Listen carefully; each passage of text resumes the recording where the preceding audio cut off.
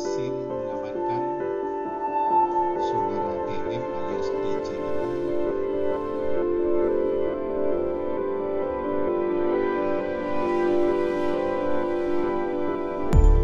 Di sekitar jalan Fatmawati ya Fatmawati Jakarta Selatan.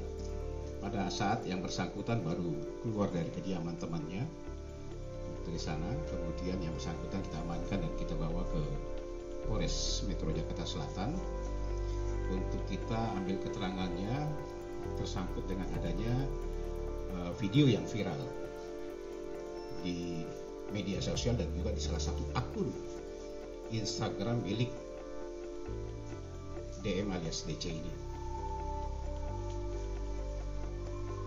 Kemarin sekitar pukul selepas maghrib lah ya kita amankan yang bersangkutan.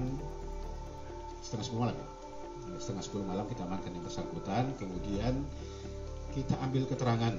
Untuk bisa mempertanggungjawabkan